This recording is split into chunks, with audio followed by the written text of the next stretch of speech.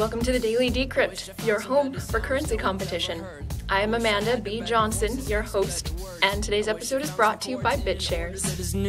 I wish I didn't have to rhyme every time I sang. One of the reasons that Bitcoin has gained so much traction since its birth in 2009 is because its network has no single point of failure. People can feel confident that an earthquake in Asia, a power outage in South America, or political censorship in North America won't take the network offline. In the cryptocurrency sphere as a whole, however, Bitcoin itself now threatens to become a single point of failure, as its developers have failed to keep the available supply of processing capacity in line with the demand. How is it a single point of failure?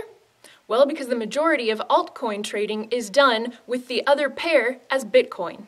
Very few goods and services are currently traded directly for an altcoin. If cryptocurrency as a whole is to succeed, this must change. In order for Bitcoin not to take down the entire ship, which it is now threatening to do, users of altcoins must now put in the legwork that early Bitcoiners put in. This includes talking to your common trading partners about accepting your favorite altcoin directly. If you yourself accept cryptocurrencies for payment with a neat tool like the Shapeshift button, this includes setting your default conversion currency to something other than Bitcoin.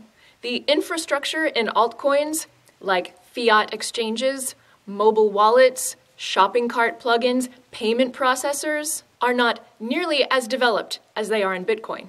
The task at hand is monumental, really. But if the promise of cryptocurrency really is to eliminate single points of failure, that is exactly what has to be done. So rally your tribe together, because now is the time to decentralize all of the things. Today's episode is brought to you by BitShares a currency with three second block times, and a neat hangout every Friday where users can interact directly online with BitShares lead developer Daniel Bytemaster Larimer. The currency also offers a fiat on ramp through the exchange CCEDK, and you can find out more at bitshares.org. Nobody ever said it was easy being a pioneer, did they? Sometimes somebody in your party dies of dysentery but it is only through blazing new trails that we will get to places that we have never been.